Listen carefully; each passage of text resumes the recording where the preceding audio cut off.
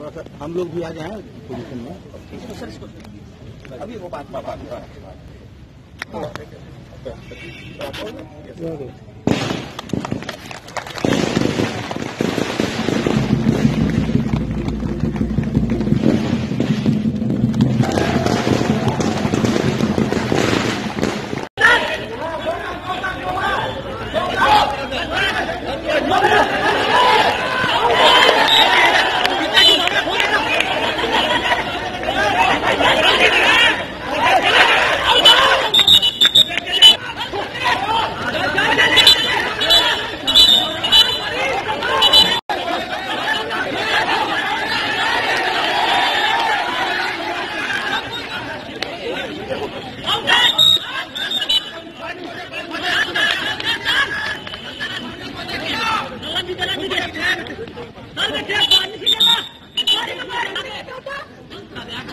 बिल्कुल डीडीओ मंडल को यह सौभाग्य प्राप्त हुआ है।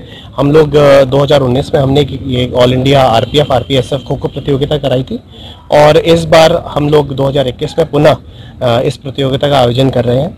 इसमें इस बार करीब 68 प्लेयर्स हमारे पास आए हैं जो पाँच रेलवे से हैं जिसमें नॉर्दर्न रेलवे है नॉर्थ वेस्टर्न रेलवे है नॉर्थ ईस्टर्न रेलवे है आरपीएसएफ की एक टीम है और ईस्ट सेंट्रल रेलवे की टीम है।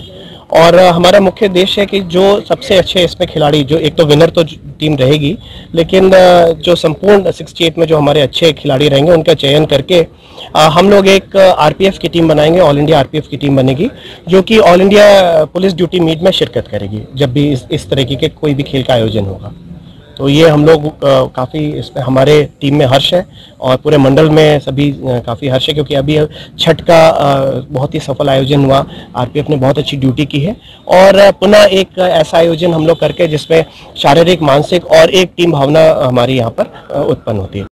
सर आज ये क्या कार्यक्रम हो रहा है और इसका उद्देश्य क्या है?